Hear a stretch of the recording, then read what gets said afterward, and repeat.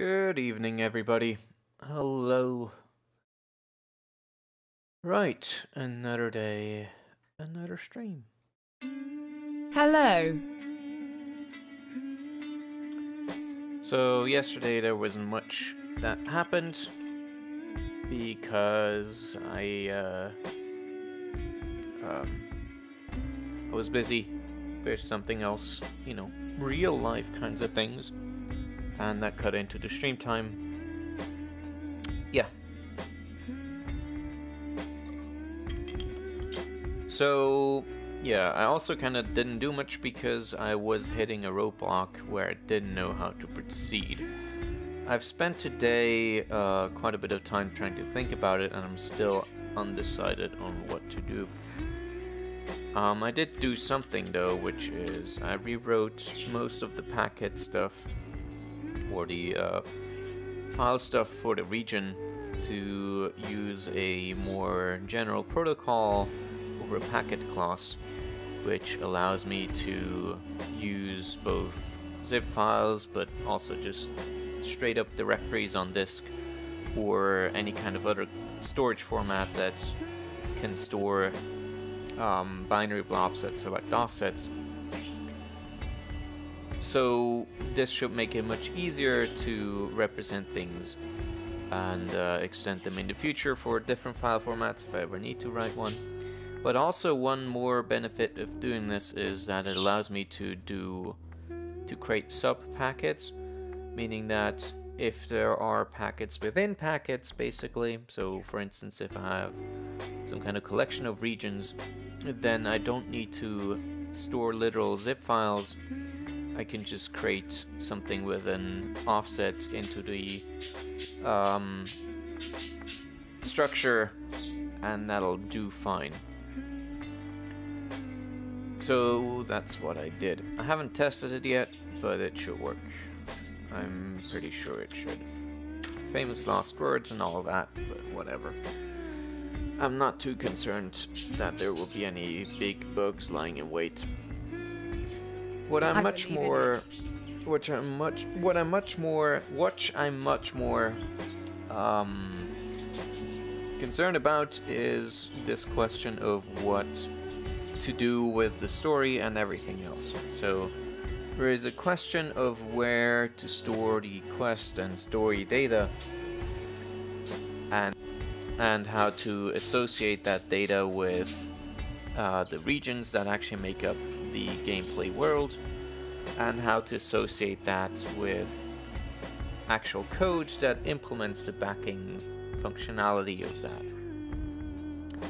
So the reason I'm conflicted on this, well, let's just, okay, I'm gonna make some examples of what we could do.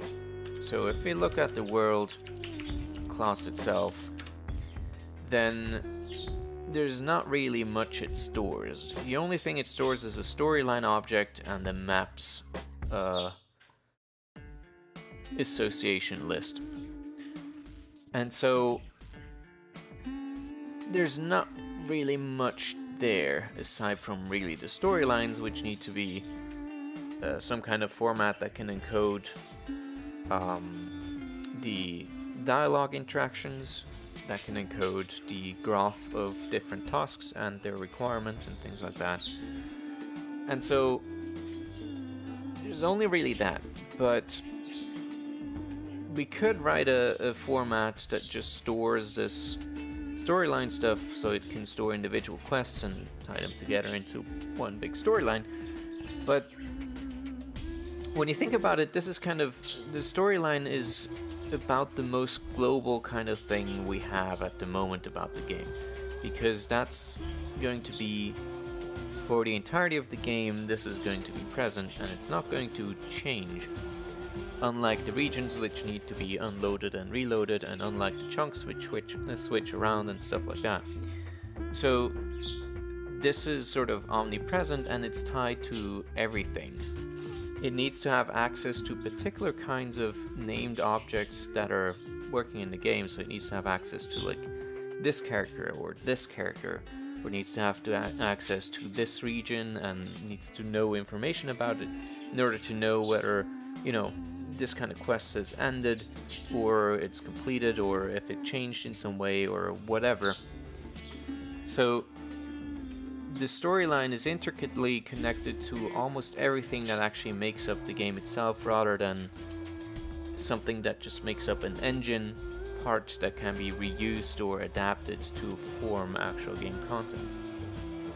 And so the question becomes, well, does it really make sense to separate this out into its own thing? Wouldn't it be more sensible to tie this together with the rest of everything that also makes up the game? Which means both all of the regions should be part of this sort of world representation and all of the assets that need to be done or need to be used for that as well plus all of the kinds of code that are that is specific to the game itself so for instance when we define a new kind of NPC like here and this should be part of the world definition rather than tied in with the rest of the quote-unquote engine code and that's kind of what I've been debating. On one hand, bundling everything together seems like a cleaner solution and it would allow you to basically create entirely new games within Leaf itself and sort of, you know, send them around and whatever, if that ever comes to fruition. So it would allow a lot of modding and essentially using the game to make your own games with it with a similar kind of basis. But on the other hand, it almost feels like architectural overkill. It feels like I'm trying to separate too much, and I'm not sure if it's worth it. So I've been. It's. I can't even really put it into words properly what bothers me about it so much it's just a really bad feeling I get either way. So both of these options I can't really settle with for whatever reason. And I can't seem to properly articulate it beyond what I've talked about now. So yeah, I've been stuck in a rut.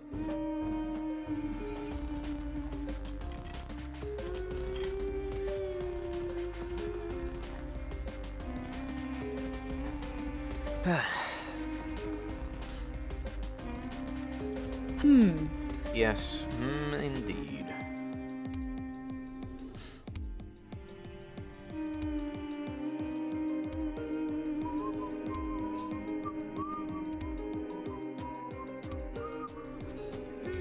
On the plus side, the new Packet backend allows me to still represent all of these files, source files and everything else on disk rather than having to swash them in a zip archive, which would make, you know, editing and updating a lot more bothersome. But nevertheless, it's still annoying. in some sense. In another sense, this feels like something I've wanted to do all along anyway. So, at some point, I would like to, you know, sell the game. So far I've been doing everything open source. All of this stuff is on GitHub for anyone to see and look at and run. There's no license file, so technically you can't look at it, but you can. It's public. Um, and my idea was that essentially the engine itself is public, but everything that's specific to the actual game would be separate, private somehow. And through that uh, you know I would retain some kind of sellability while retaining open source to some degree. Um, but yeah I don't know. It's a, it's a tough decision to make it's also kind of a big question about what is really part of the engine and what is part of the game at some points it starts to blur for instance is the player stuff, is that part of the engine? Like, is the movement physics and stuff part of the engine or part of the game? You know? More leaning towards it being part of the, the engine, but I don't know, you can make an argument either way.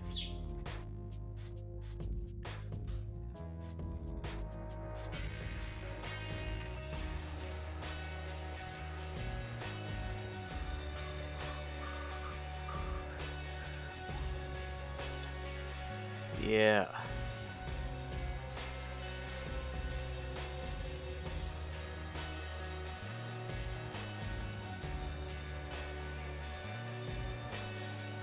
So, yeah, I don't know really what to do. What I can do is sort of explore the more complicated option a bit further.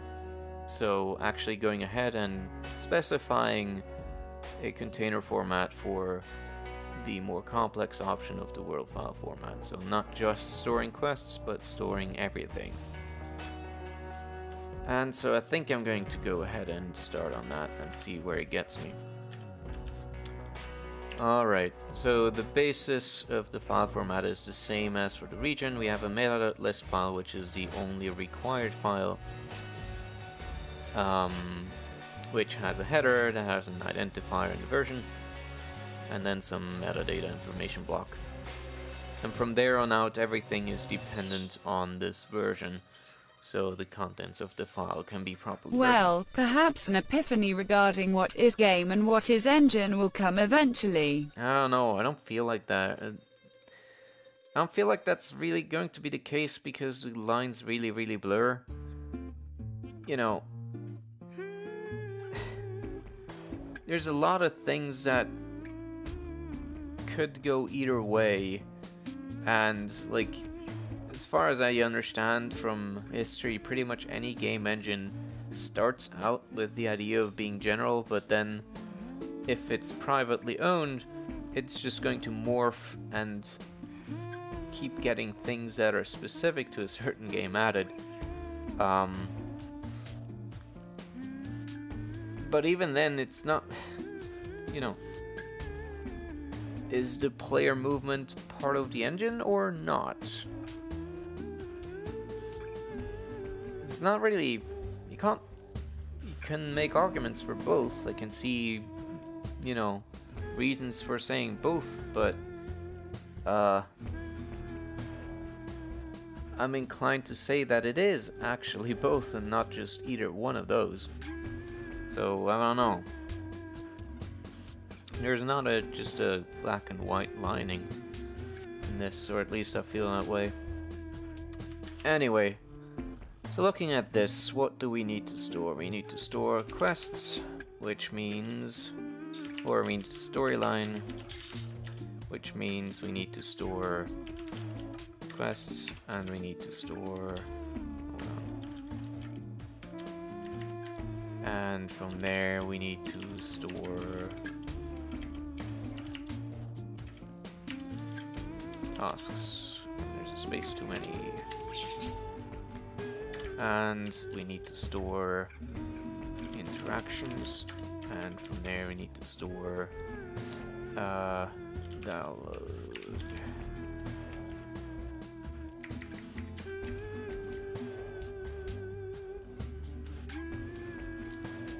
Uh, right. And then we need to store uh, source code and we need to store assets.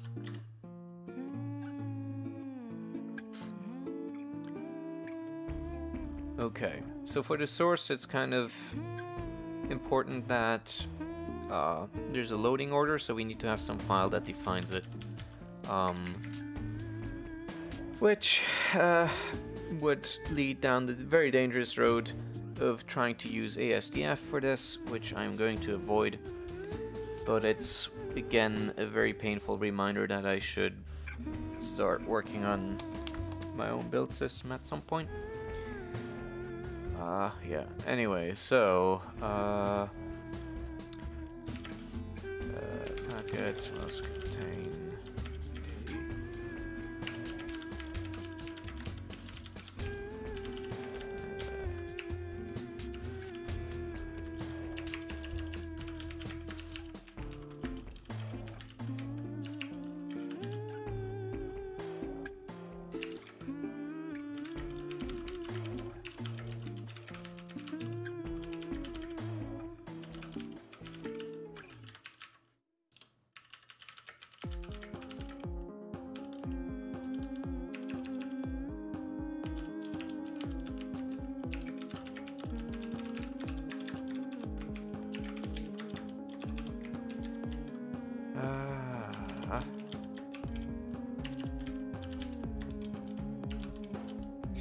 don't know what's required really beyond just a listing of the source files and the order you want them to be loaded.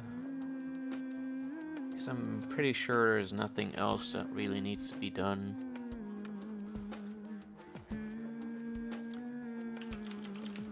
So just that, I guess. Huge.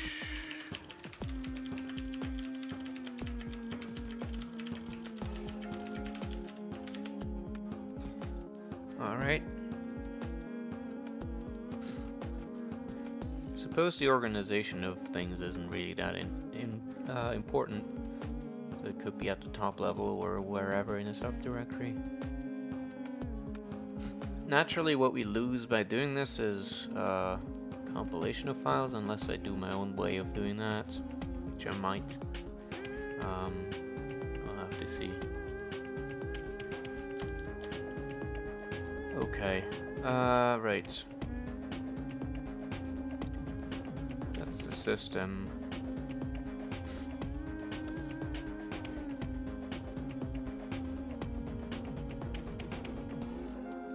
Maybe we should make a single file that contains the storyline information and the source information.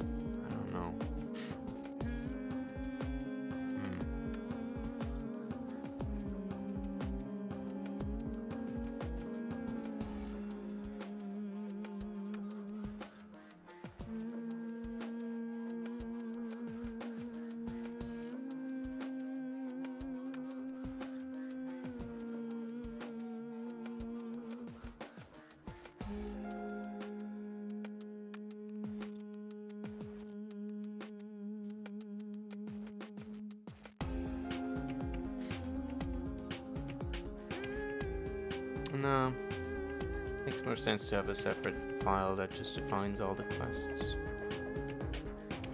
and their tasks.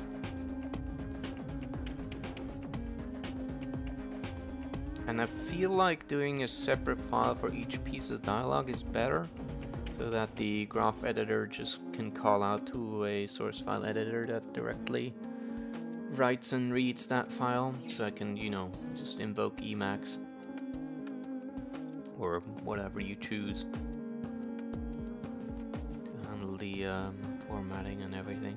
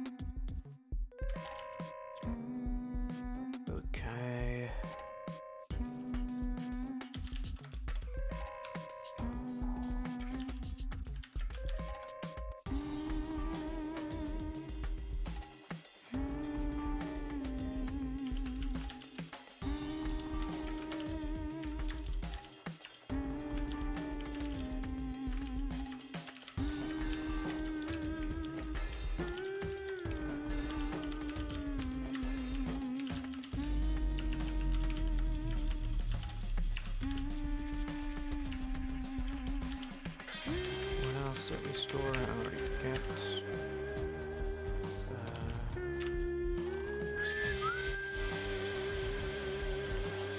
oh right, we actually need another representation for the quest this, since there's none.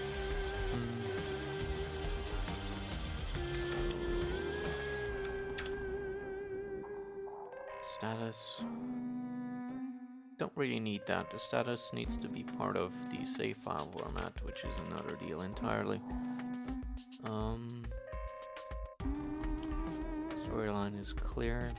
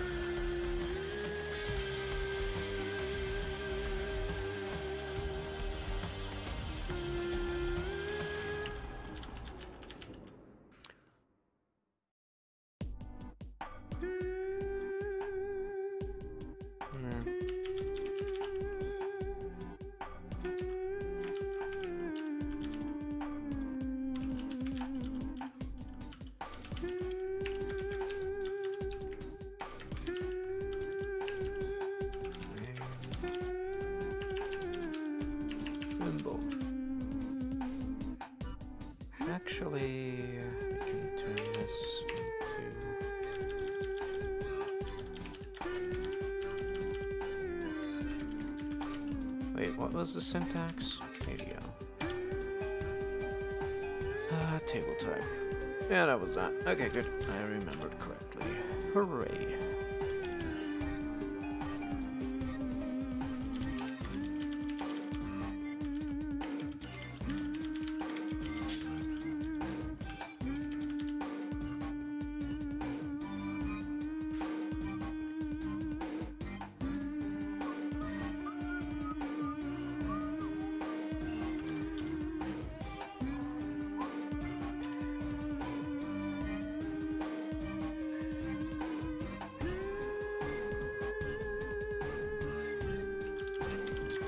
Really need to store the effects because we know how to connect from that. So do that.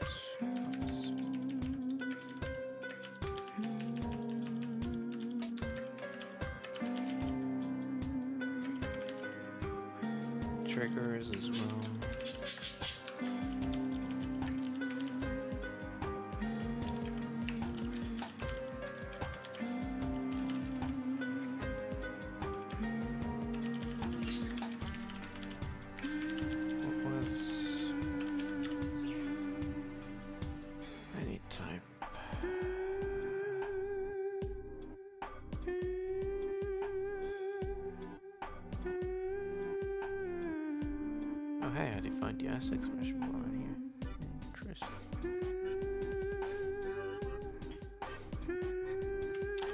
Good of me to do that. I forgot. Uh, right, we can just define the source type externally. It's fine.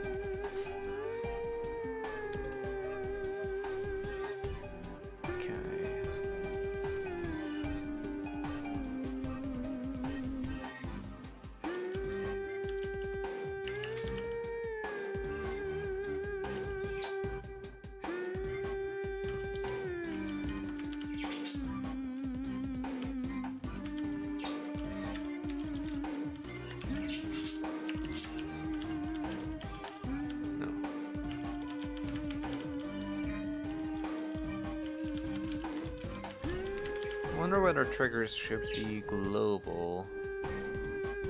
So not specific to a quest, but you can invoke them from anywhere. Hmm. Questions, questions.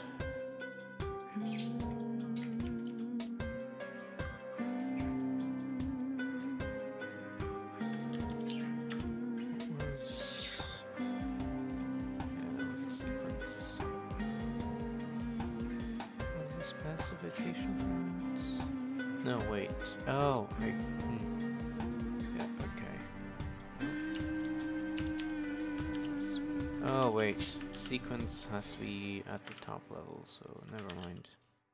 Right? Yes, okay, so it's not... Okay, good. I got confused for a bit. Because this does not mean the same as this.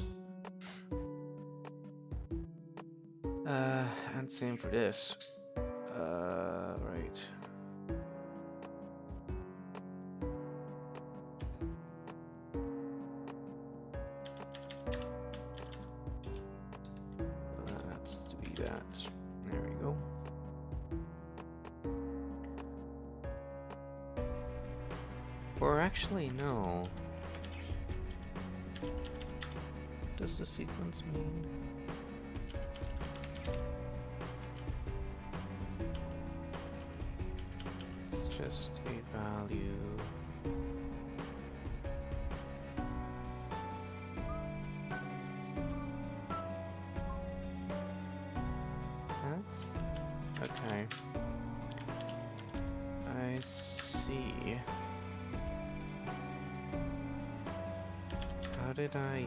This in this?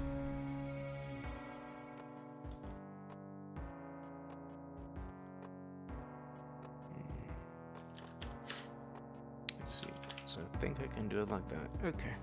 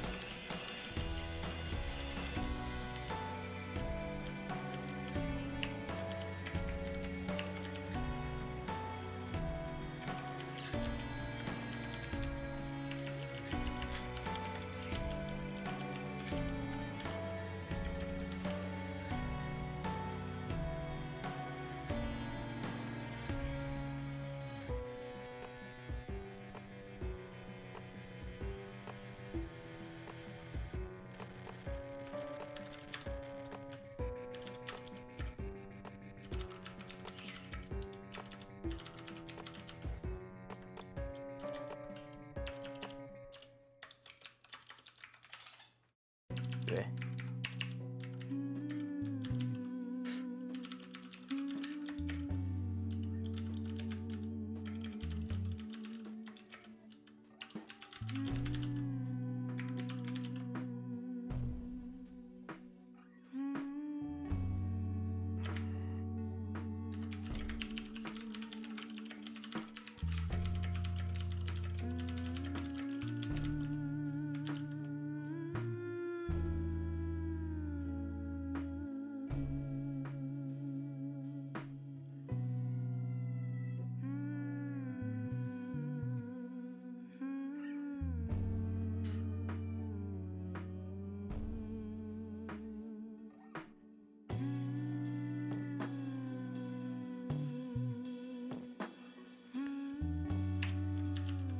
Okay. Um.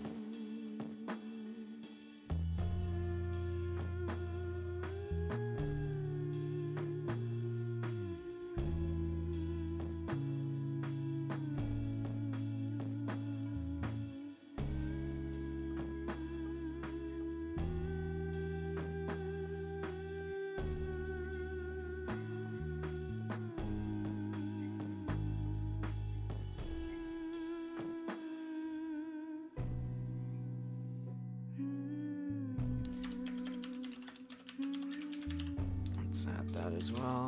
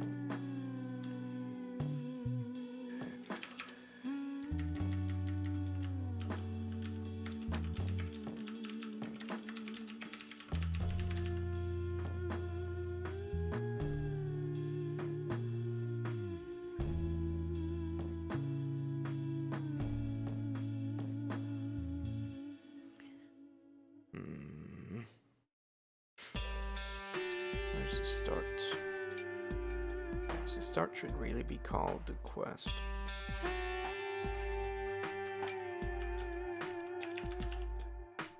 Let's put that up here somewhere.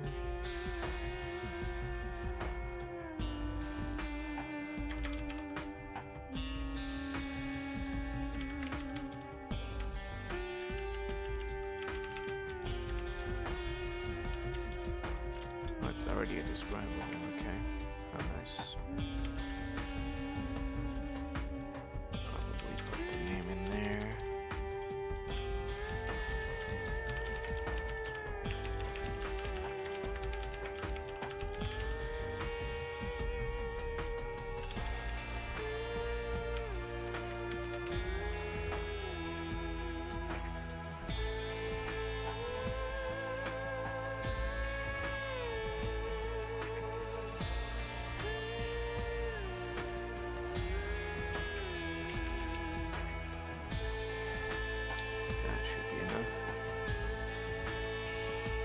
The fact that the tasks are in here is just a structural thing. They might as well be unrolled since they're now named.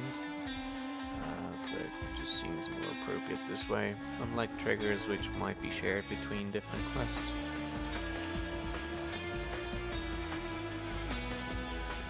Okay.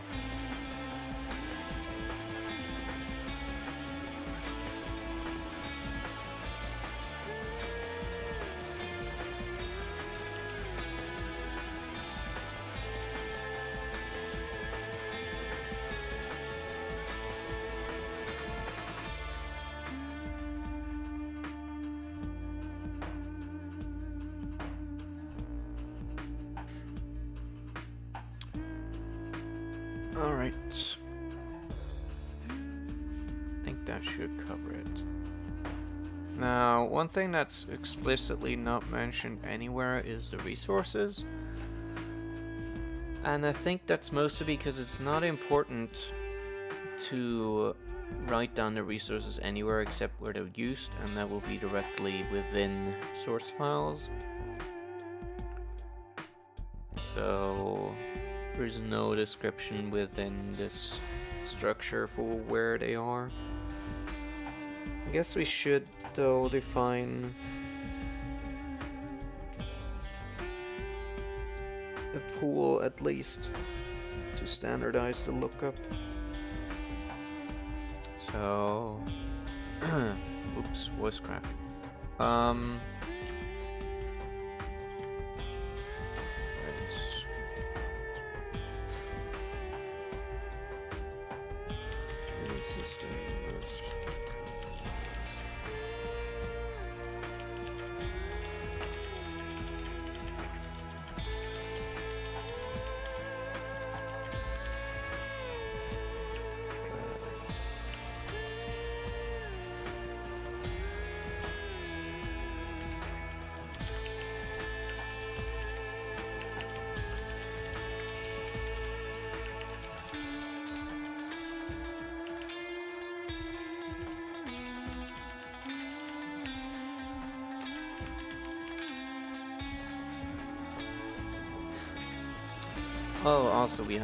haven't the regions yet at all.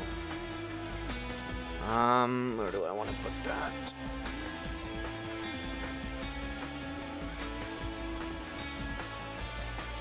Does it even...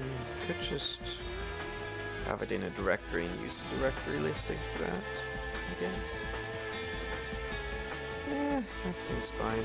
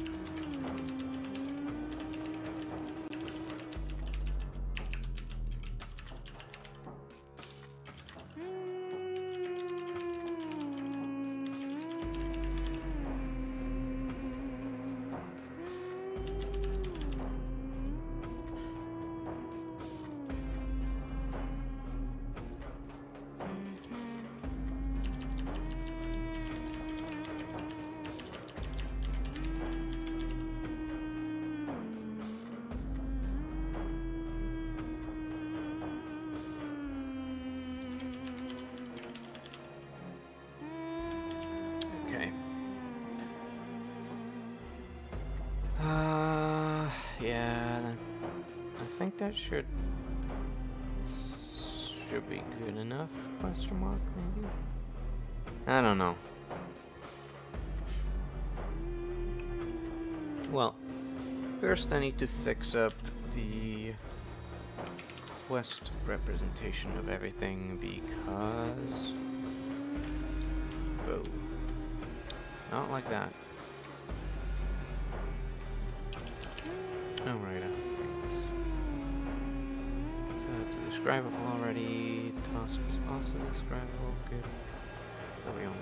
Interaction to have a trigger. Uh, a name.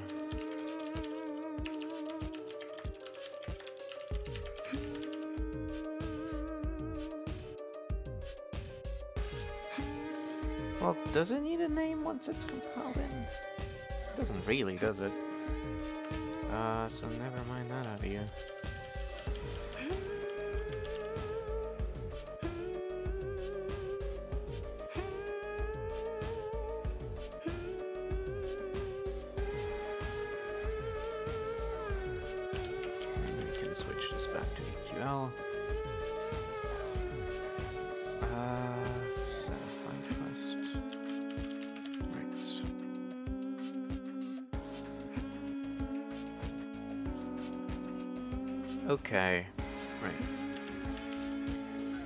So we go back to the world and see what we can do here.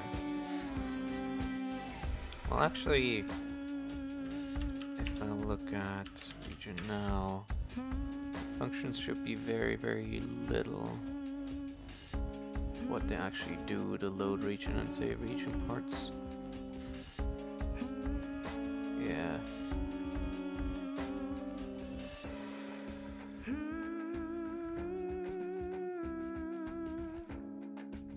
Guess it should define a, a base region to start out with as well. Or, hmm, that's an interesting question. Maybe it should instead define a base save file to load from. Or maybe that's covered in the source code. Hmm. I don't know.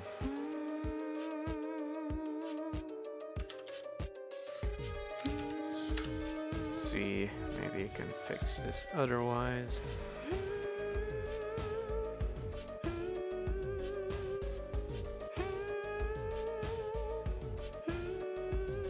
So the idea being that when the world is loaded, it loads all this stuff in, and it then, um, if there's no save file that's being loaded explicitly, it loads a specific default one to know which standard uh, region to load and how to set up the initial quests and everything. I think that's reasonable. Mm. Yeah, so I think I'm going to change the system thing to be a bit more uh, structured, I guess.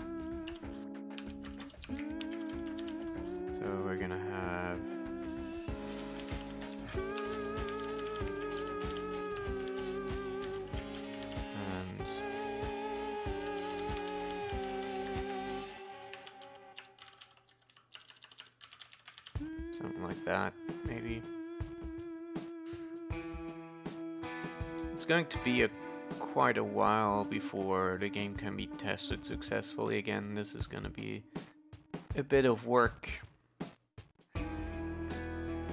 Which always makes me uneasy when there's big batches of changes that I can't really test very well.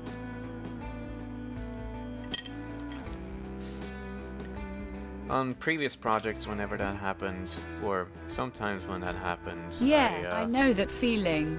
I would sometimes just spend days not working on it because I was so scared of testing it. And I, or not scared, but I just really didn't want to test it because I know knew it would be annoying as hell. All right. Anyway, So maybe we should actually rename this stuff and put it into... Yeah. Run, coward! This should go into the packet.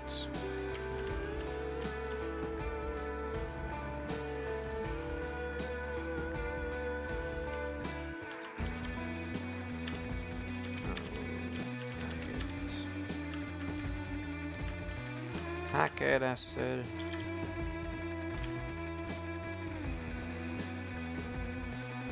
This load packet file thing is also bad. Uh, V0. Where is that even used? It's only used here.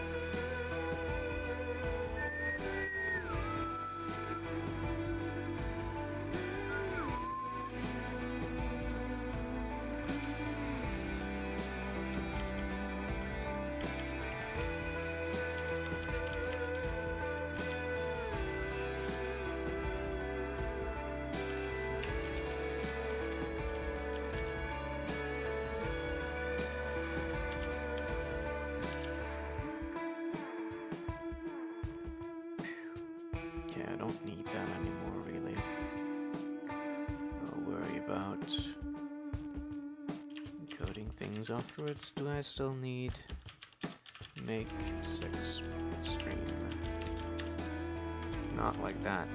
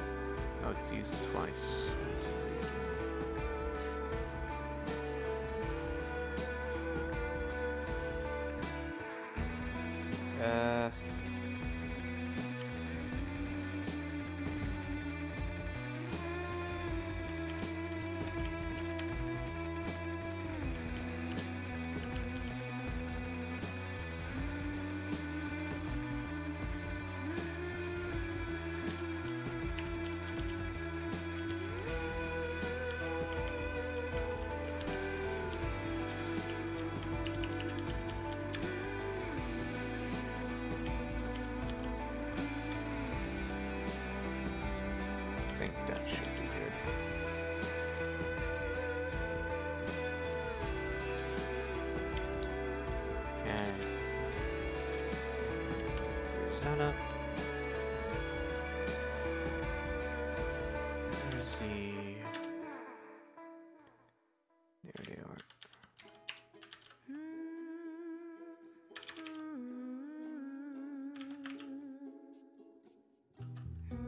Uh, let's just call it that.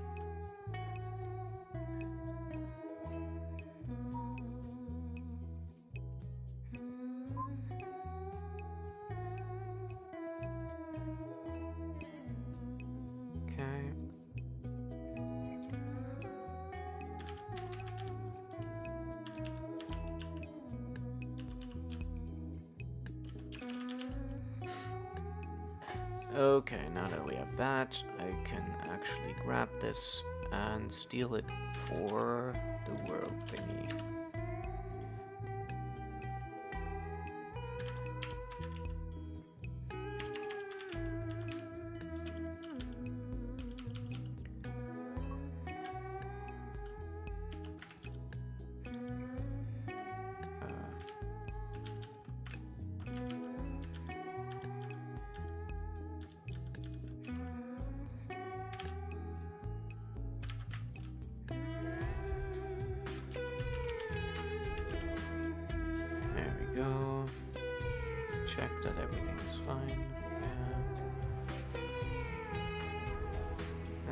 Sort of sort of fine-ish.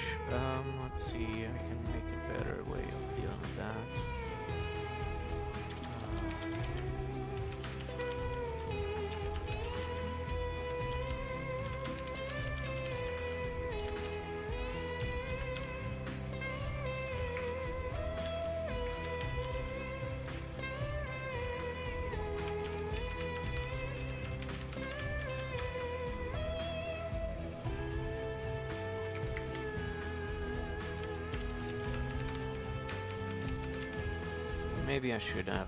Version kind of thing.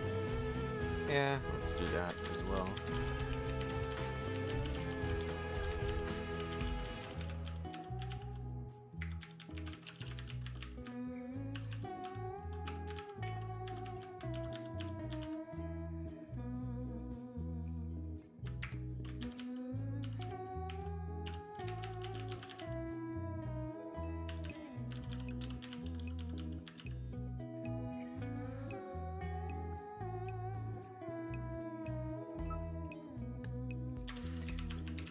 And we can make that even easier.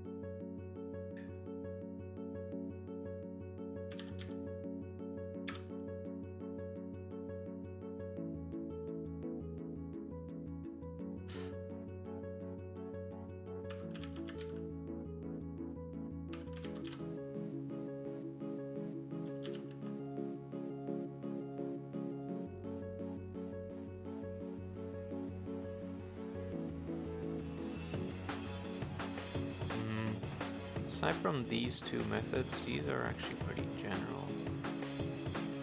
Wondering whether I can remove those as well,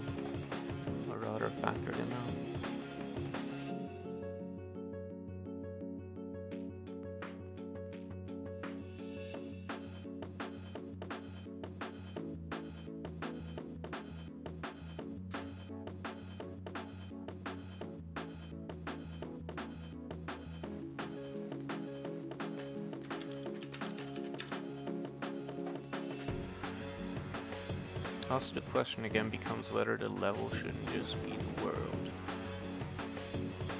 Probably should be.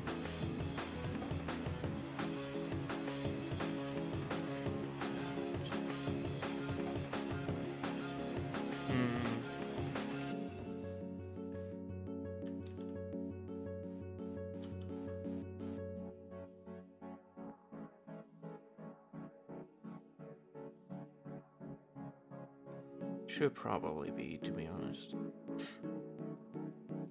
So let's merge these together.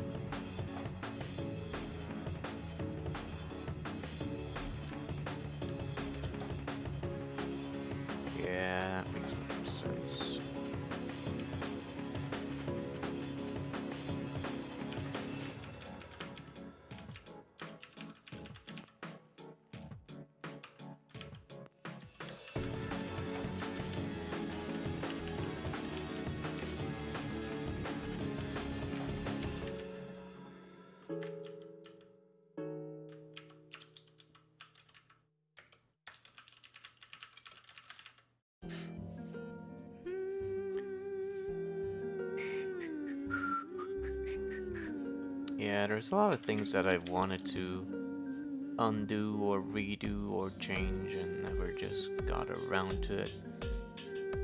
So this being one of them.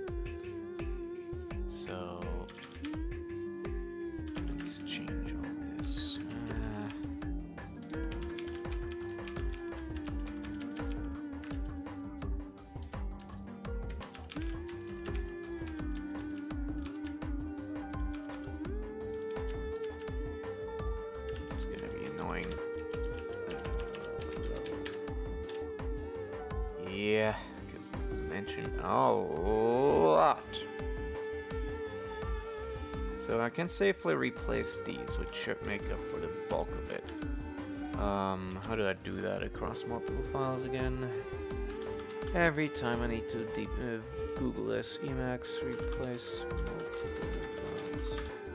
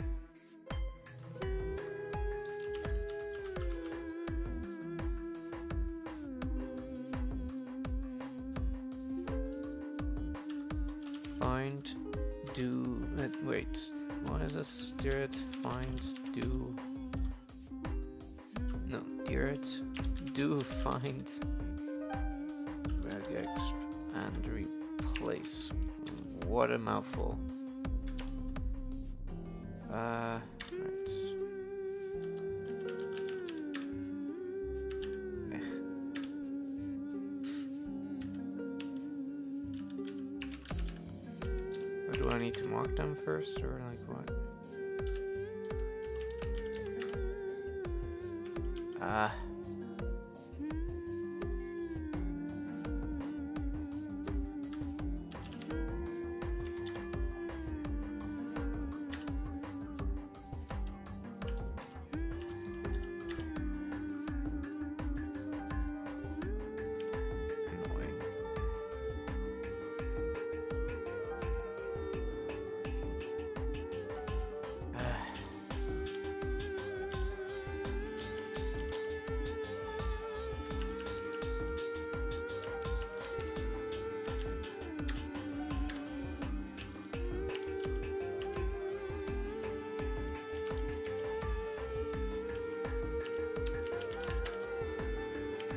How the fuck do we do this shit again? God damn it.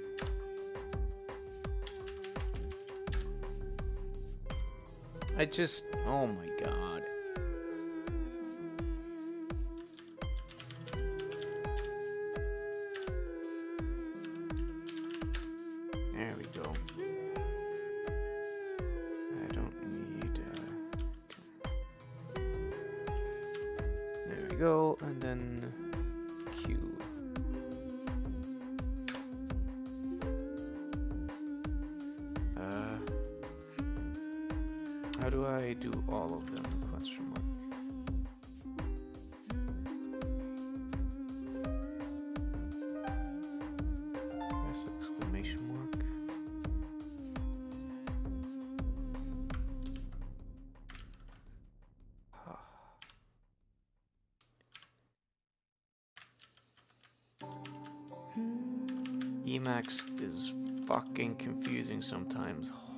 Shit.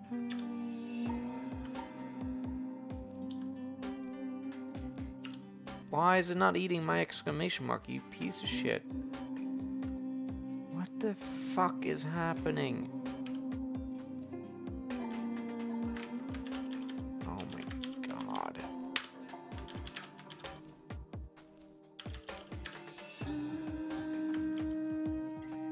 Can I just do that without the query?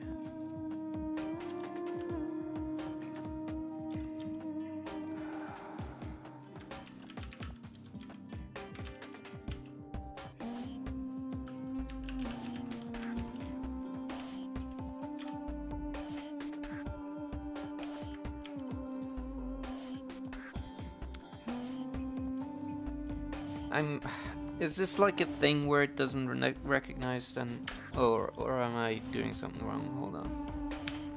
Okay, I was getting confused. Maybe. Except for this part where I was not confused, and now it didn't do the thing. How do I go back?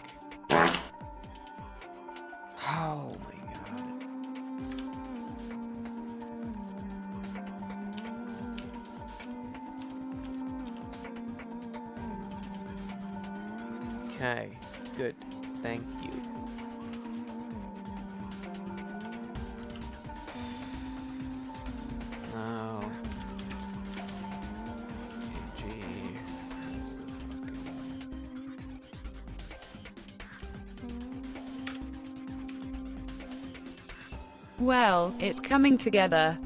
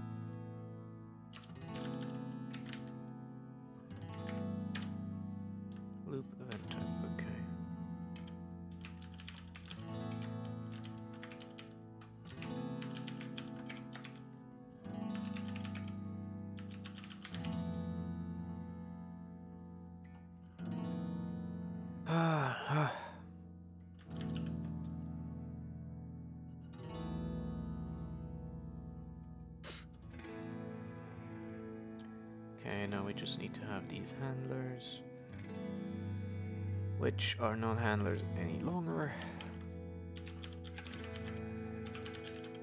I think they're just on handle, I'm not entirely sure.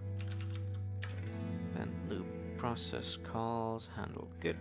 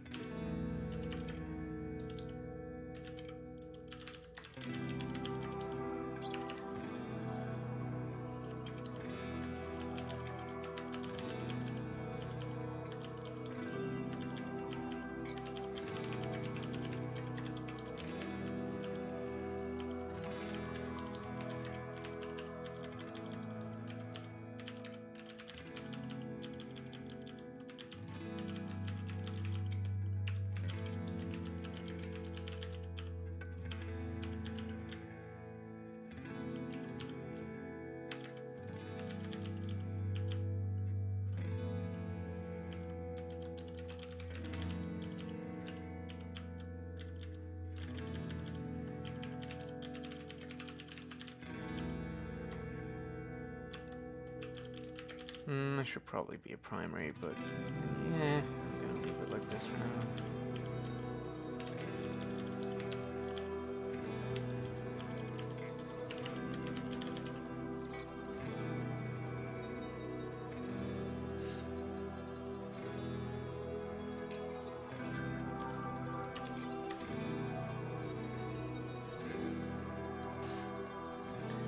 Uh, people are smack talking me on Bagger's stream right now.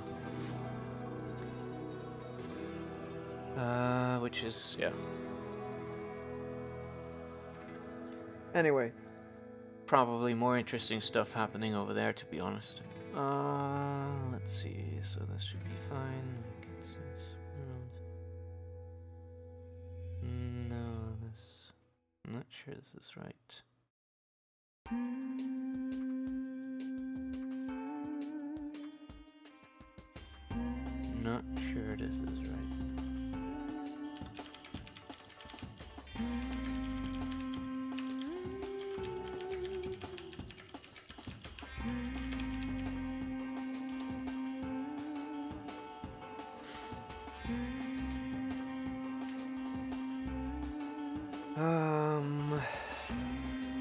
This does not seem right.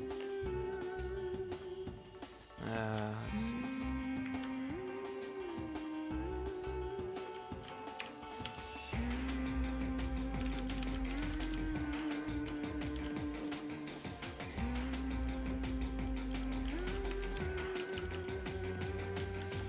Yeah, because this is a region change, so should somehow switch out the existing region, region.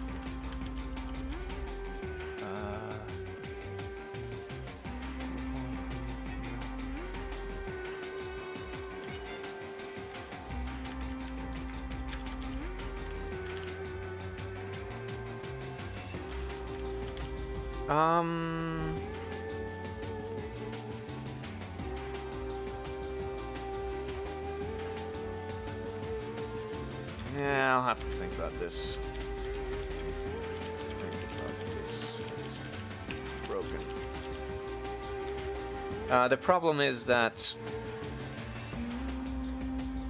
um, so the way it's structured right now, the world is we might have to switch out regions if the player moves to a different region, of course. Um, but the rest of the world should stay intact, which means we can't just use the trick we've been using before, which is to create a new scene and then load everything into that scene and then change the scene to that one to load all the assets and everything in. So there needs to be a different strategy. I think change scene will refuse if the scene is still the same, which is not great. So I think I'm not sure what to do. Yeah, I'll have to think about that one. That one needs some thought. Okay, back to fixing up everything else. Uh, get out of there. So this is no longer necessary. Yes. Where was the level file? That was there, right before world. Ideal. So I don't even need to worry about load order any. Fantastic. Okay. Uh, let me worry about this for a second. Save world.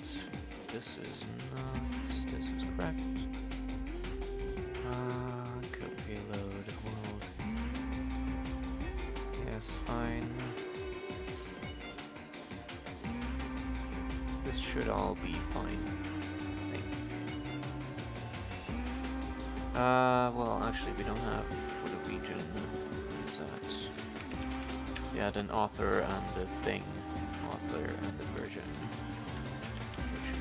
here as well, just for posterity, I guess.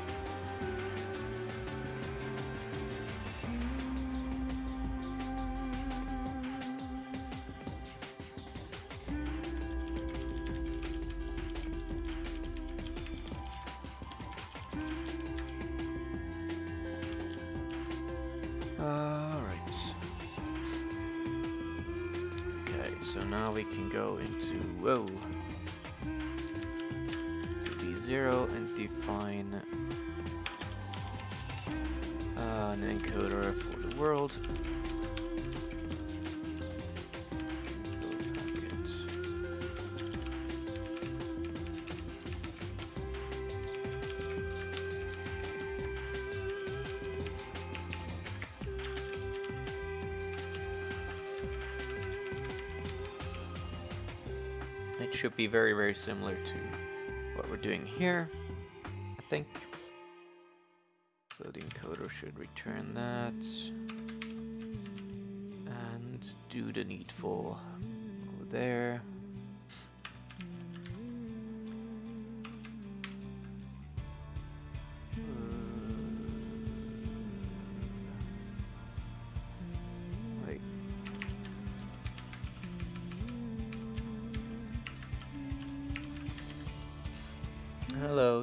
Uh,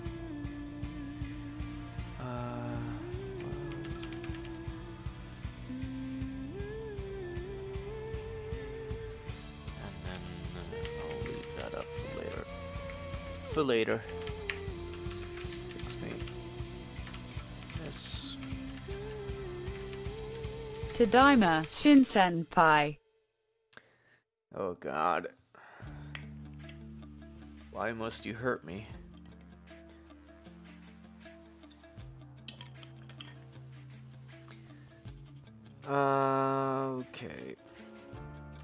We still need to patch up all the other references to level that existed, so let me go back to that. Gee, lots of stuff. Okay, editor. Find the keys first. Where's keys? Save. Probably be separate keys for saving the world and saving the chunks, but I'll worry about that later.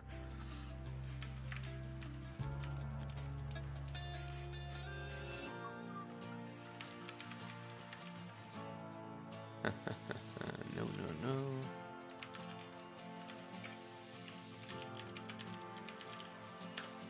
So actually, save world.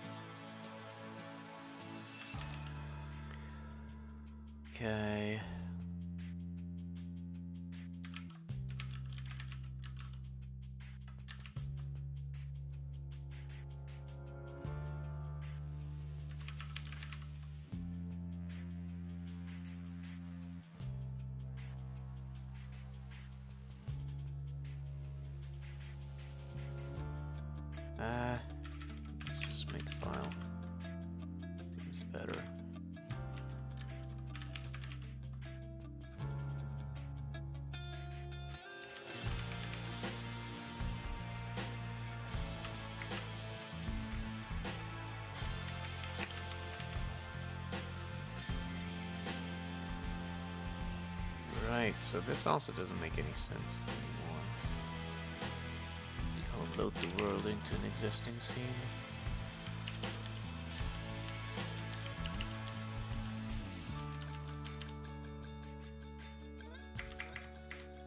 Anyway, how are you doing, Eudoxia, and how is everyone else doing in chat?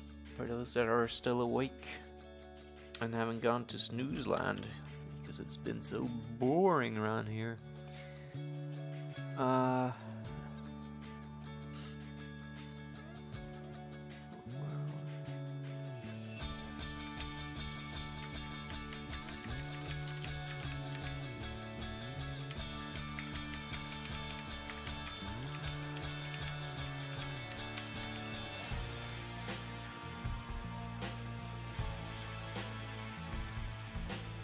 I'm doing pretty good. How are you, Shin? Hello, Bug13. Good to hear you're doing good. I'm doing alright. Uh, I had another. I uh, was initially going to. Uh, a friend of mine and I have a weekly meeting on Wednesday evening, and uh, he had to move it today. So that's been the second um, date this week that was moved to another day. Um, but it was actually fine because I didn't really know what to do for dinner anyway. I cooked some the remaining stuff I had from yesterday's dinner for lunch, and that was a big lunch. Um, mincemeat patties and mashed potatoes, and it was excellent. That was really good. Highlight of my day. Uh.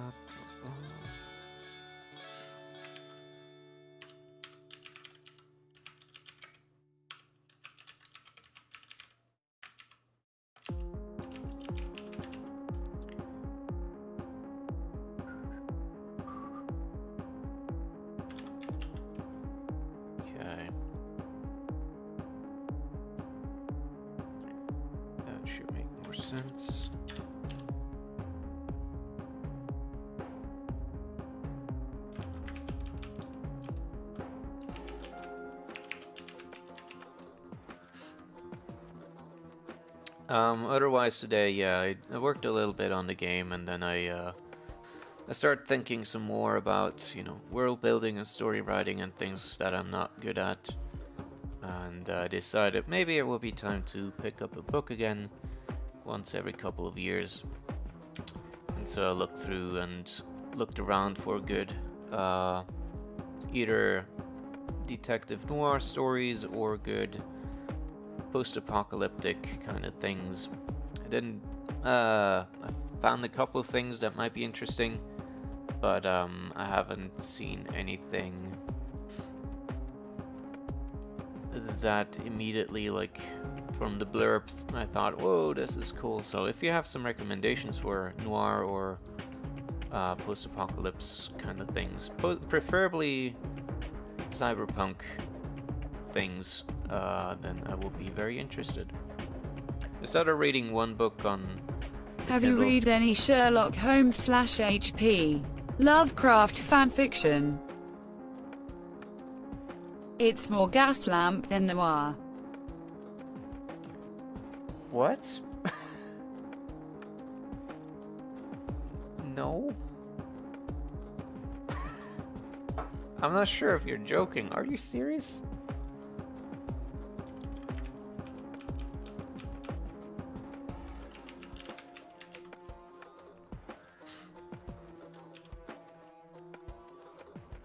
I'm serious. Okay. Well, I've never heard of fan fiction being good, so, you know, hence my confusion.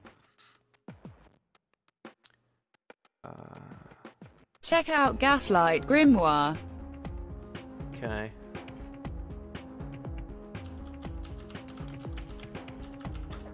Will do.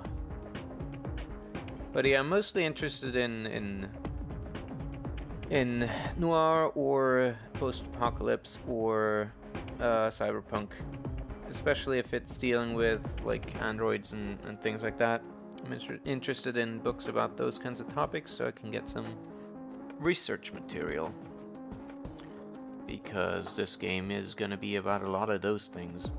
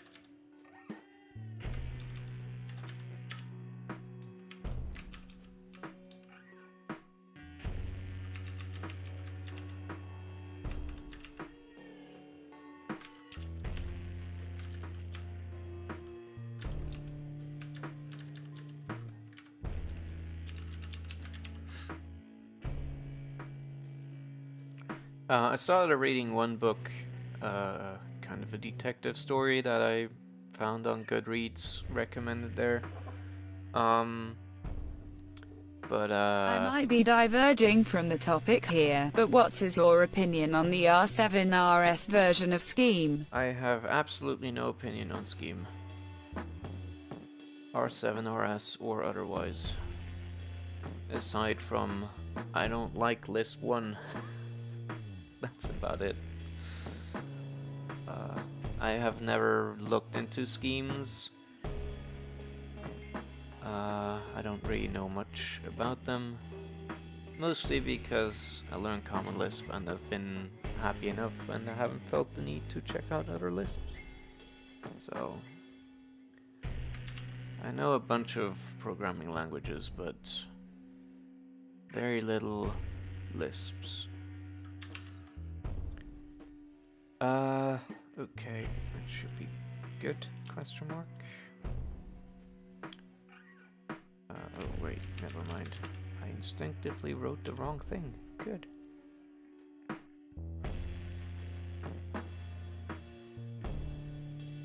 Okay. That, I What's your opinion on ADA? I have no opinion on Ada either. I mean, the person Ada was pretty cool, but uh, the language, I don't know. I've never looked at it. I have some negative opinions on, on like Haskell and Rust and um, uh, Erlang, but that's not really interesting. Okay, uh, let's see. Uh, yeah. Actually, the editor was talking about one thing. Also, regarding cyberpunk etc. research, have you considered reading RPG manuals instead of novels? I find they do a lot of the world building legwork. I have not because I've never read RPG manuals.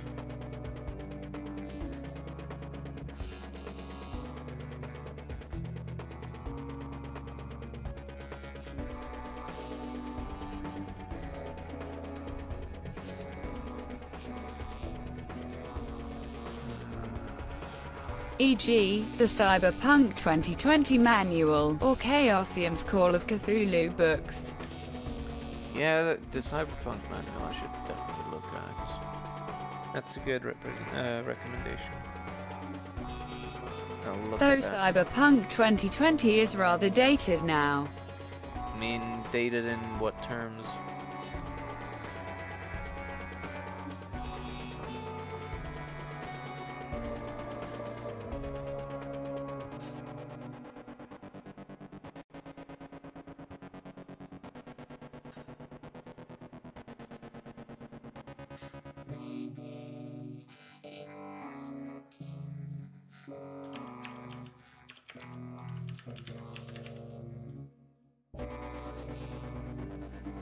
Cyberpunk 2020, that's just real life now, LMAO.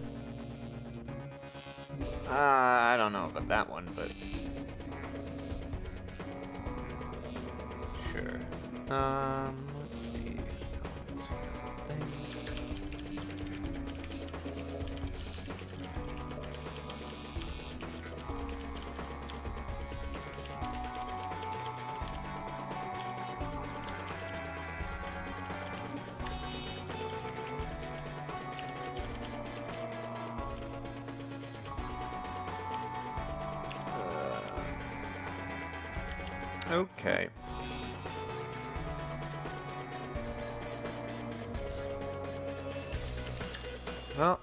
of changes made, time to restart and see whether it blows up in my face. Predictions are it will. Here goes. It did! Yay!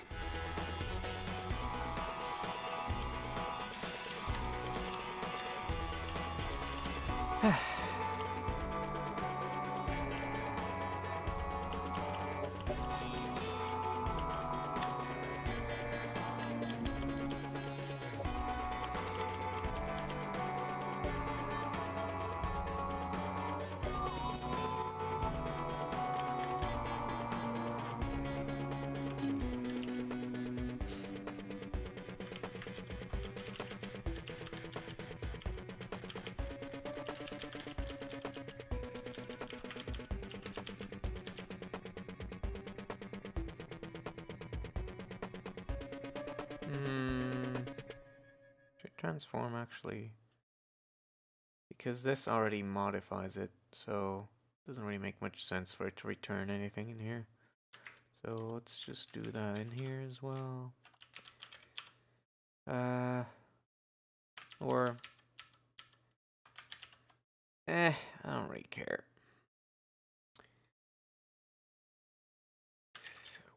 It now? Again, a bit off topic, do you think Common Lisp will change a lot in the next 20 years? Uh, no. Well, hmm, depends on how you ask. That's uh, not a straightforward question. It's kind of uh, Common Lisp, the language standard, will not change. But Common Lisp, the ecosystem, will definitely change. Changing all the time. Uh, ba ba ba. Eh, I'll just leave it here. Uh, slowly beat. I don't care. Uh, where is that now? Still there? What? Stop composing emails.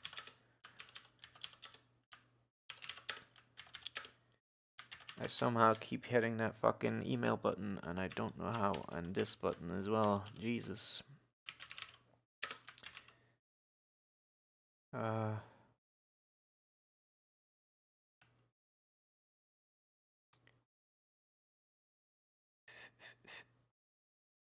Transform.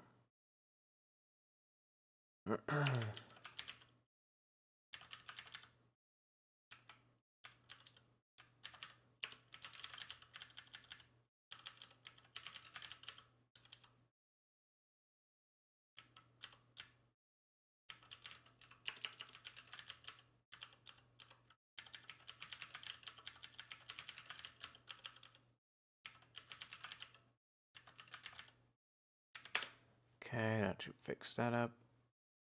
God damn it. also, music run out. Give me a minute.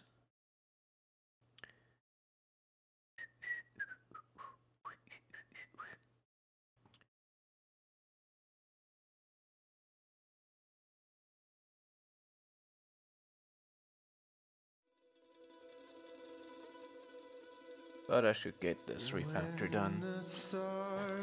I don't know how the ecosystem is going to change. I assume it's going to change in ways of, you know, just adding tons more libraries. I hope there's going to be more sort of mainstream necessary libraries being added and especially I hope that portability between implementations and operating systems is going to improve. Um, as it is right now, it's not great. Well, it's alright, but there's still a lot left to be desired.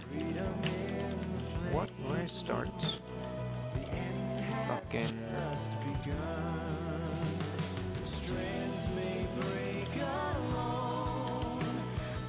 Where?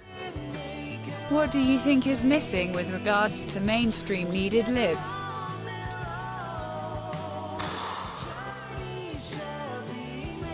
A good build system.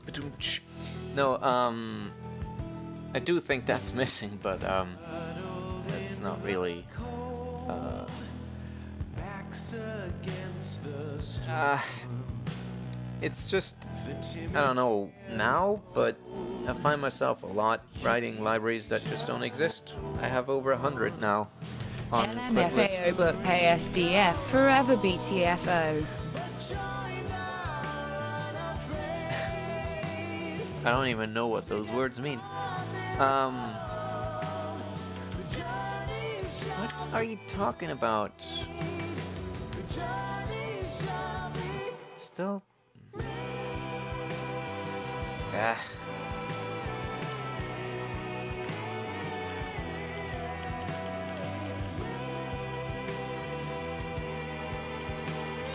So, since I'm new to the stream, what exactly are you building here?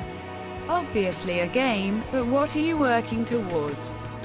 Um, Leaf, which is a bad title that I have tried for a long time to find a better one for, but have been unable to so far, is supposed to be a uh, a 2D side-scrolling detective platformer, post-apocalyptic noir cyberpunk story game. If you just want keywords. Um, yeah, I guess, I don't know. The writing part is the one that's still the least developed of everything because I'm struggling with that a lot. Um, but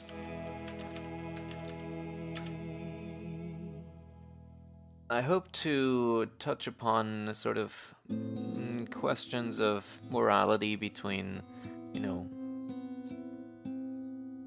what kinds of things are acceptable for living beings to ask of machines, especially if they're sentient. So I intend for there to be a sort of a subplot of um, a group trying to disassemble living androids to get at resources that they themselves can use for something. So it's kind of a question of, you know, at what point does a machine gain the right or the respect to stand on its own? Or at which point is it still just a machine to be used for any purpose? So that's a theme that I'm interested in and would like to tackle. Where is this fucking shit? Why is... What are you talking about, you garbage, man? David Zindell's Requiem for Homo sapiens quadrilogy is great transhumanist fiction. Hmm. I'll look at that as well. Thank you for the many recommendations. This is great.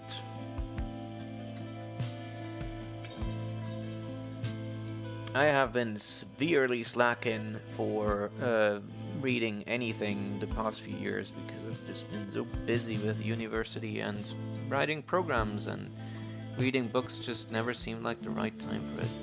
Also, anything by Greg Egan. Greg Egan, another name I know nothing about.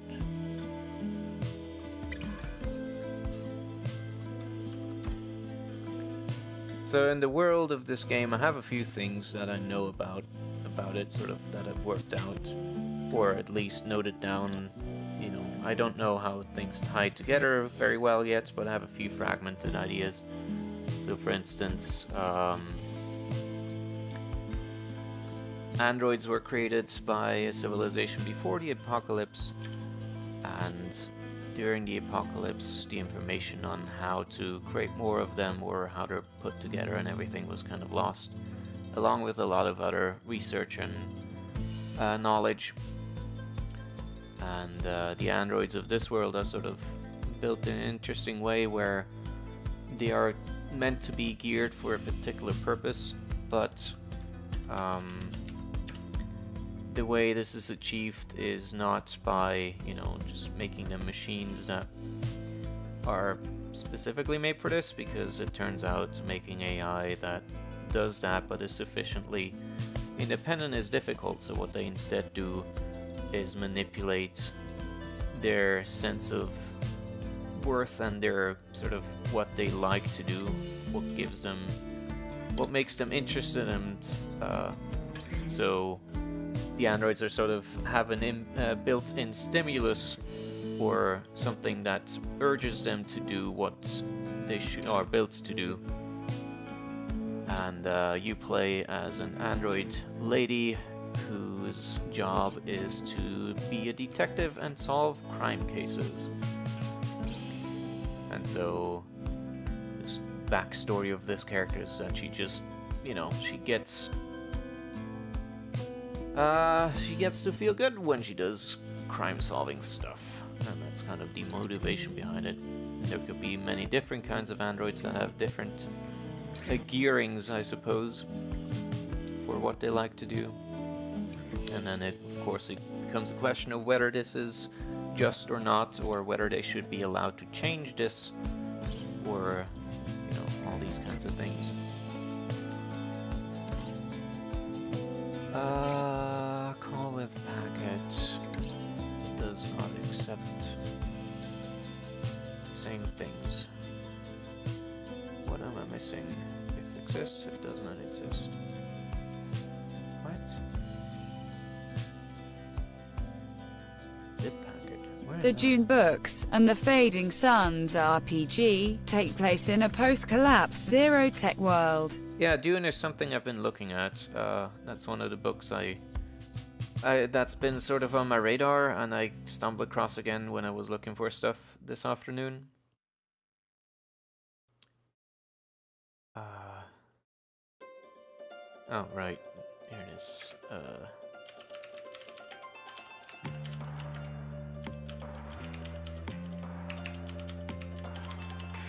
Alastair Reynolds' House of Suns book is a great novel by itself, and also deals with the ethics of machine people. cool. Now I've got way too many recommendations.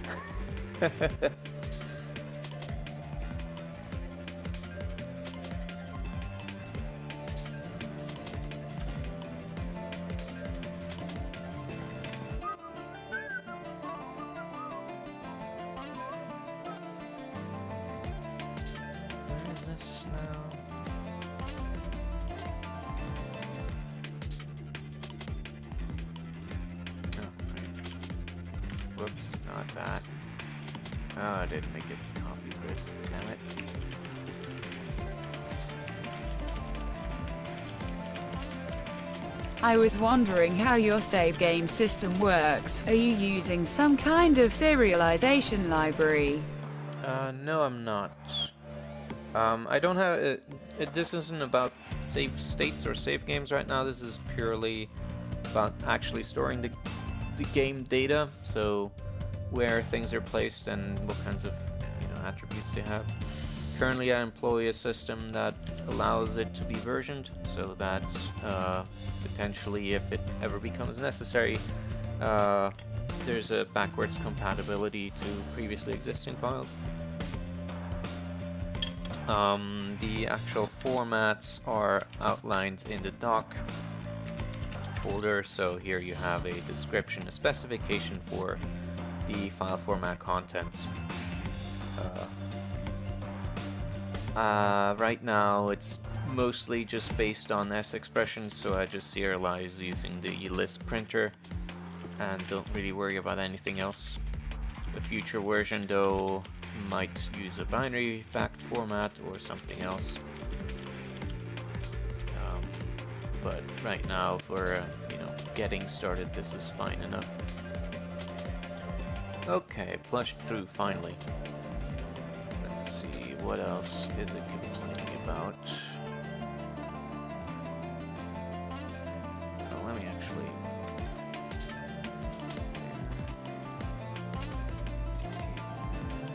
Ah, the magic common Lisp printer. Awesome, thank you. Sure. Um, yeah, it's based on, uh, where is it? So, the basic idea is that each of these files starts with a very simple header, which defines a, a magic keyword, and a version identifier, which is then used to construct a version object. And then there's these two generic functions. Um, well, for reading, it's decode payload, which calls it with a, uh, a version argument so that you can specialize on which version uh, this applies to, the global packet that contains everything, the target that we're loading into, and the current payload that's actually being decoded. So using this, you can then apply specializations using, you know, class and that combines really nicely, especially because thanks to the fact that the version is a class, you can actually inherit versions and sort of incrementally specialize uh, changes depending on the version rather than having to rewrite everything or make other kinds of clutches. So yeah, encoding does something very similar. Uh, yeah. Okay, I need to look through this real quick to see if I'm seeing any other oddities that the compiler noticed. Uh, scale, offset, tile size. It's fine, I don't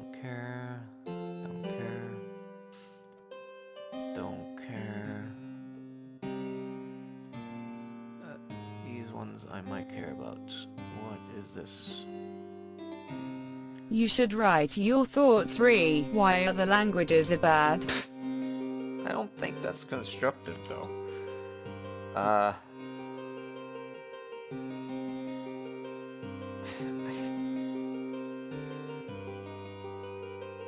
I have some, like, a year ago I was well versed in Rust.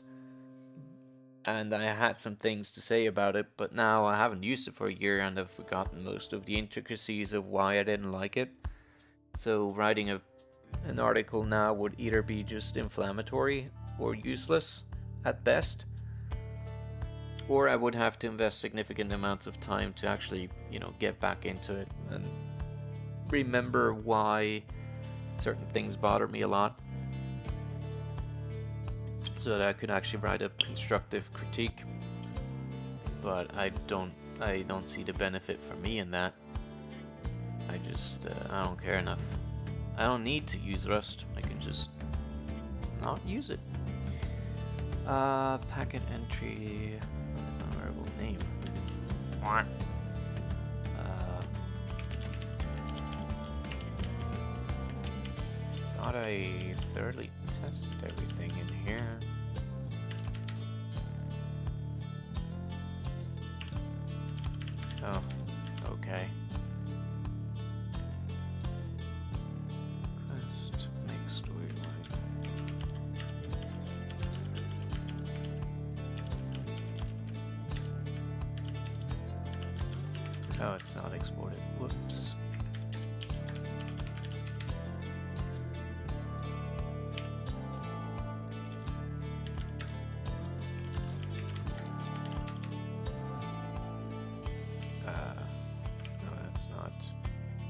It called?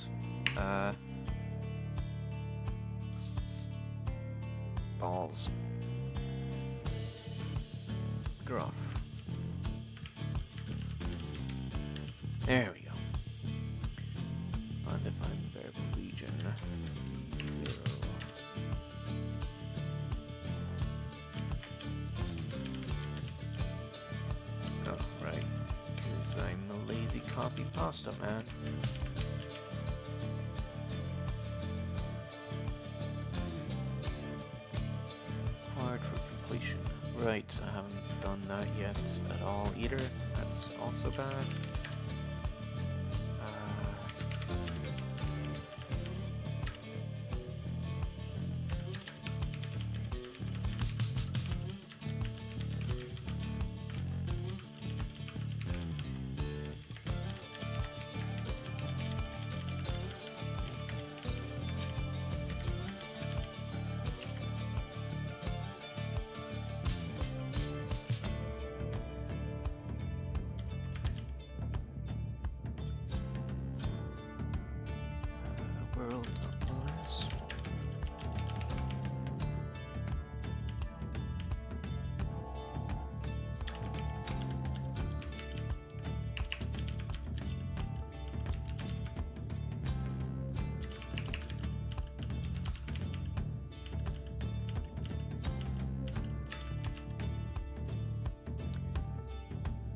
Okay, time to reload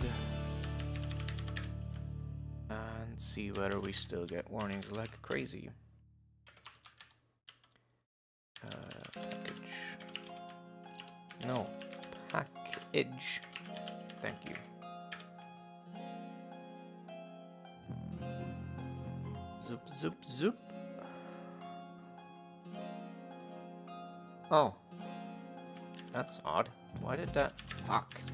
Did that not happen before? Start not found.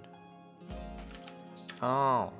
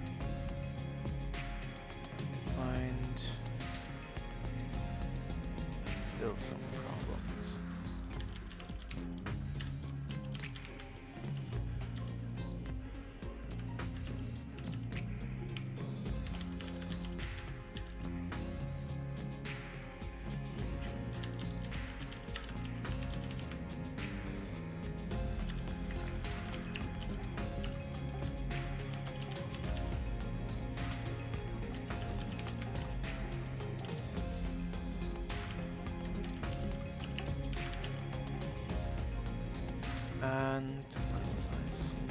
Define function task size. What? Where is that? Oh, whoops. Right, that doesn't exist anywhere at all. Okay. Time to commit this huge mess. Tons of refactoring.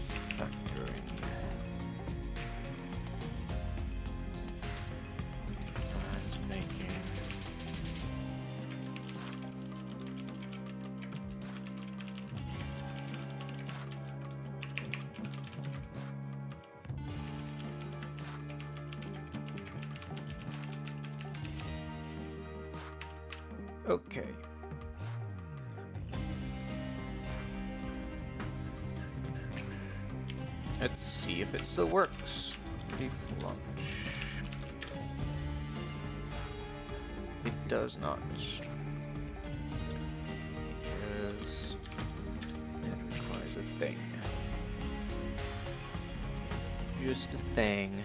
Um. Wait, it hasn't ended already, so.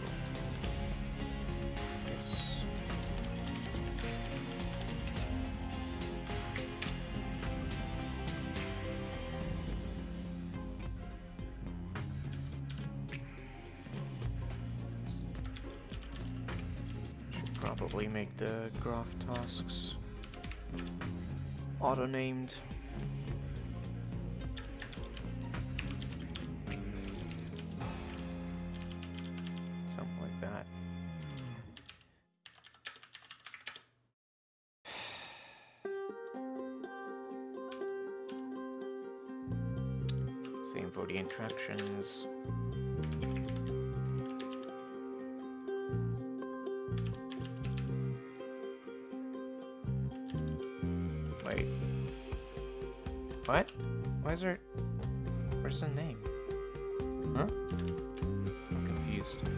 Not add that? Oh, it's here. Wait. Okay. What now? Come on.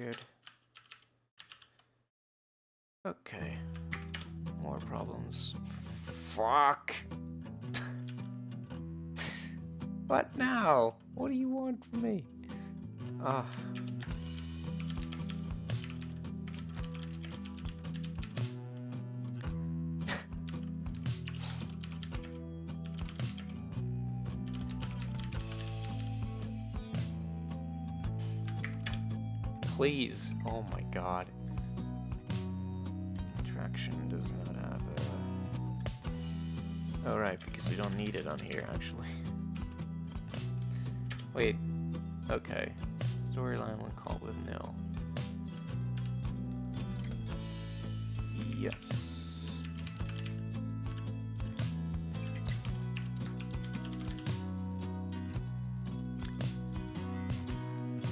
Uh, yeah, I don't know what's up with chat. Maybe they don't like your question. Uh, do you mean where are you from in terms of geographical coordinates, or do you mean like what's our life background, or how did we find the stream, or something like that?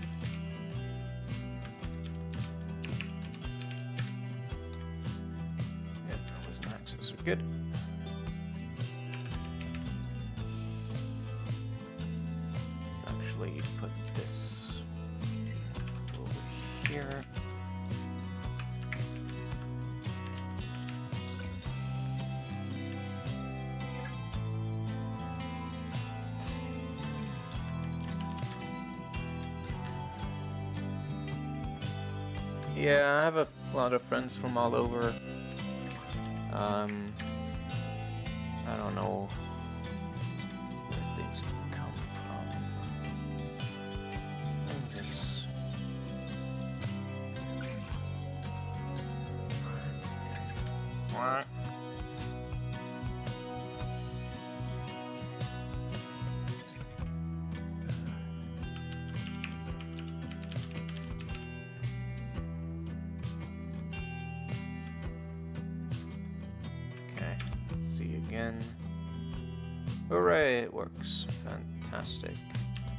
If you need. By the way, I should have the Cyberpunk 2020 rulebook from 1993 in digital format somewhere. Uh, if you Google for it, you can also find it. It's like the first link. So, thanks, yeah, but, uh, already found it.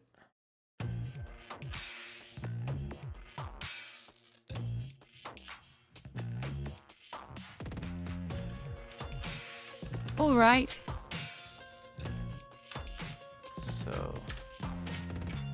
Yay, it works. Good. Things still work. Let's commit that as well. Make shit.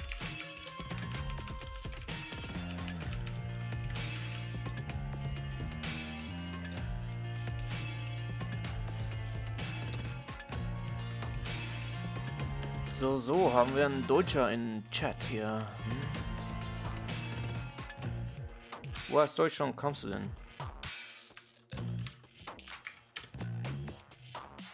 Okay, good.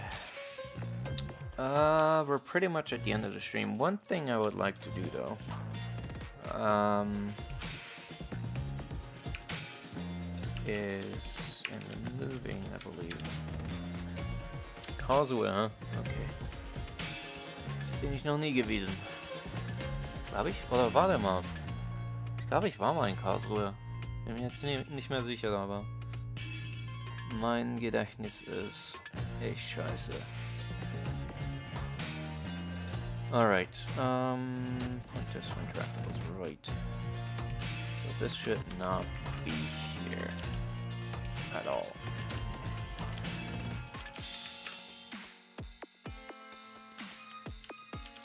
Oh my god, phone.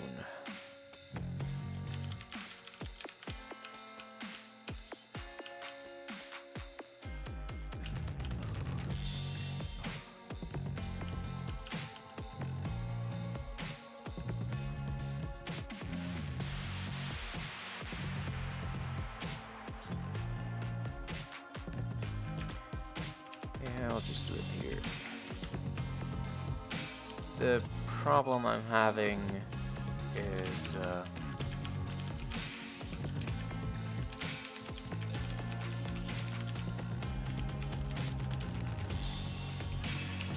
Um, so currently I'm using a point test to determine whether the uh, player is within reach. So unbound. Oh my god, phone shut the fuck up. Hate it when people send like 30 text messages instead of just fucking one. You can write multiple lines.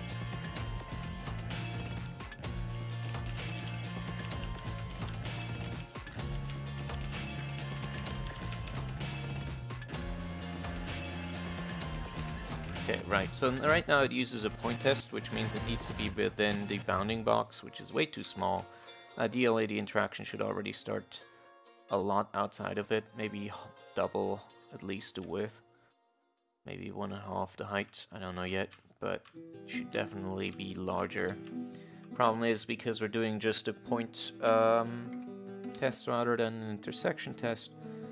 Uh, there's not really the way to do that. So I think I need to add a check for contain P with a vec4 where the uh, Z and W coordinates are a um are a, a box. So let's do that.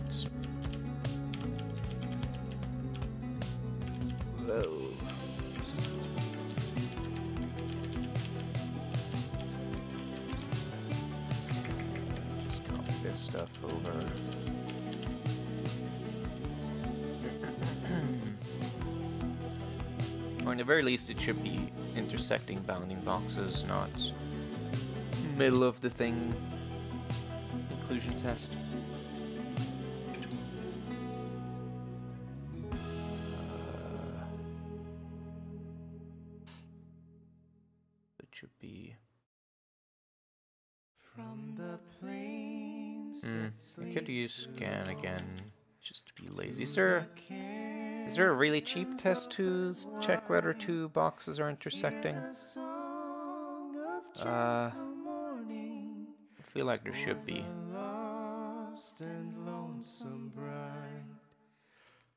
Uh, aside from just point testing each edge.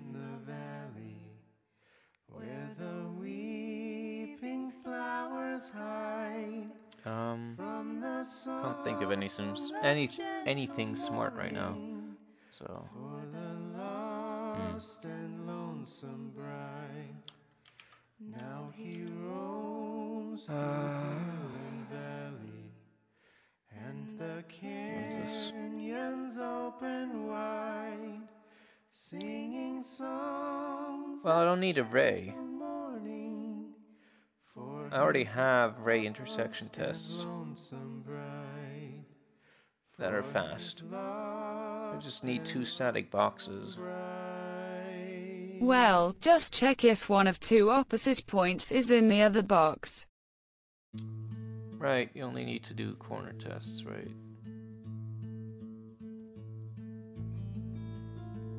Wait, what? No, wait, one of two opposite points. No? That doesn't make any sense. You only test two points, then there might be an intersection that you miss, right?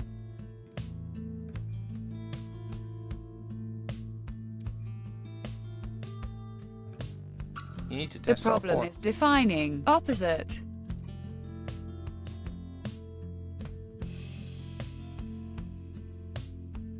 I mean, you could define something like testing the point that's closest to. Or rather, knowing which pairs are opposite ahead of time. Yeah, you could also do something, I guess, like testing the point that's closest, but then doing the closest is much more expensive than just testing all four edges. So, I think I'm just gonna do that. Four scan.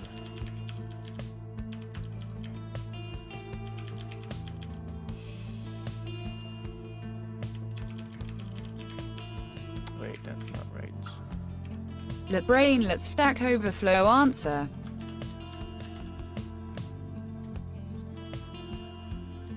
Let's see.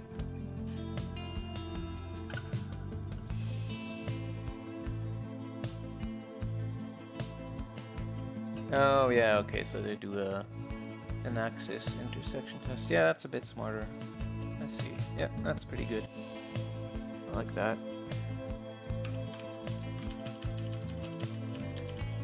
Wish I could think sometimes, you know. It would make things easier. Let's get this straight. You're looking for a way to test whether two rectangles are intersecting. Yep, that's all. Um, someone says I'm from the United States. What is your name? Like, I don't know how to. What that is. I have to go. Enjoy your evening, Shin Tilda. yeah, I'm gonna stop here in a second anyway once I have this. So, yeah, thanks for stopping by, and thanks a lot for your book recommendations. I'll definitely check a bunch of those out. Have a good evening, man. Okay, so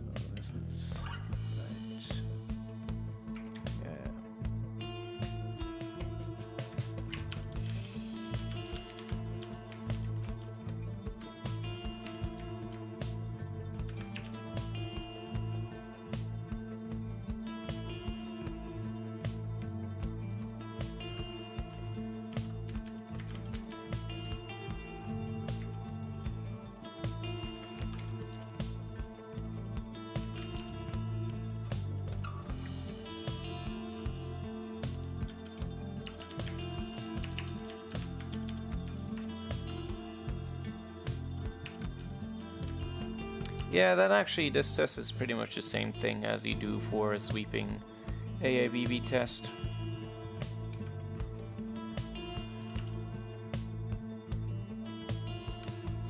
Uh, right. Yeah, makes sense. I see it now.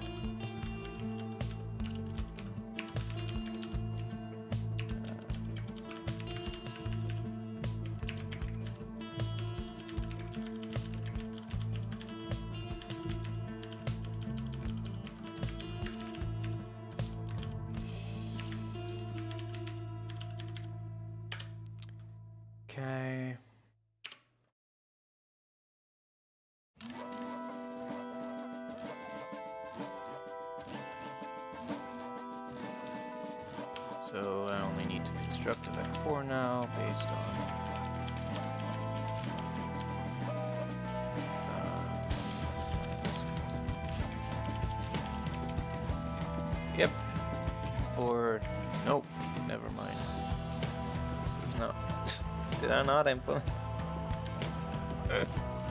God damn it. Fucked it up. Even that I fucked up. I hope I got this right. So, to Oh, test right, whether one rectangle intersects with another, check if the top left corner or the bottom right corner of the smaller rectangle are inside the larger one.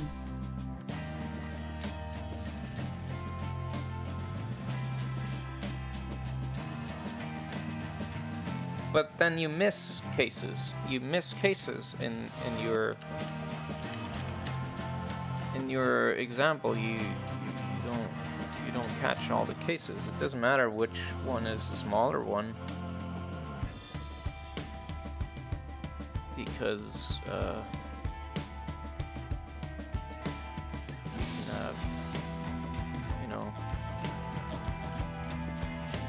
this, and if you check these two corners, then you're fucked.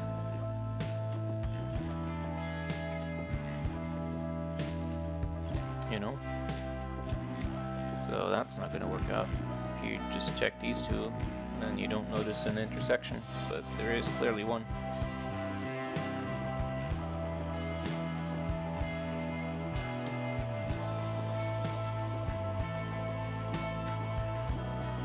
So what they do in the Stack Overflow answer is much simpler. Well, not simpler, but very efficient and actually pretty smart. So what they do is they, uh, Dang, it's getting a bit late. Yeah. Haha. no worries, man. Happens to all of us. Uh, so what they do is essentially they um, subtract the, well, they look at both coordinates separately. So what they first do is they subtract subtract the x and y, which need to be centered. So, uh, so they subtract the x middles from both, and then use the absolute value. And if that value is smaller than both of the width widths of the boxes combined, then it's within it. It actually makes sense, and it's pretty smart. And it's pretty much the same thing that happens when you do uh, an AABB sweep test, which is you can think of this in the same way of um, if you If you take one box and then you just make it larger by the second box. So you have one big box, and then all you need to do from there is just do a point test, whether it's within that big box. And that's pretty much the same thing that happens here. So that's a pretty neat trick. And yeah, it works. Cool. I think I'm gonna still make the width a bit higher than um, normal, just so uh,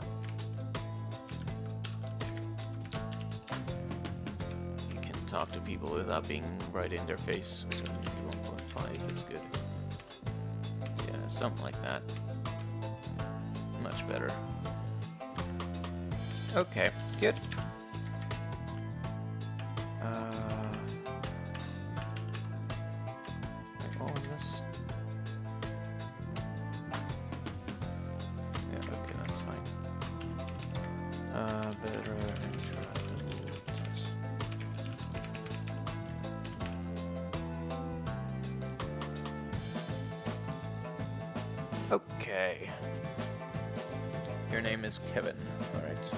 Is your What is your nickname that you have in chat there?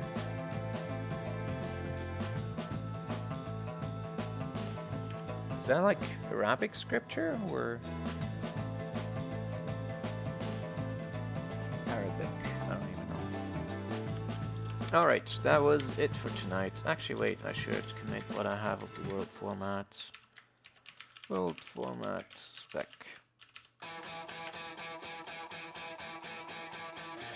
Okay. So that means It is indeed late. it is. A lot of things have been rewritten, changed, and that's fine and good. It's a refactor that needed to happen. Um, the actual world format saving and loading is not yet implemented, but I'll worry about that next. And after that is going to be save Good states. progress. Um, yeah. So I'm gonna try, probably gonna work on this a bit tomorrow myself. So implement a bunch of stuff for the uh, saving and loading of the world format. And then hopefully I'm already done with that by the evening and we can check a look at save states. Alright, as always, thank you very much to everyone who uh, watches these videos. I know there's a lot of them. I know there's, uh, you know, a lot of content every day.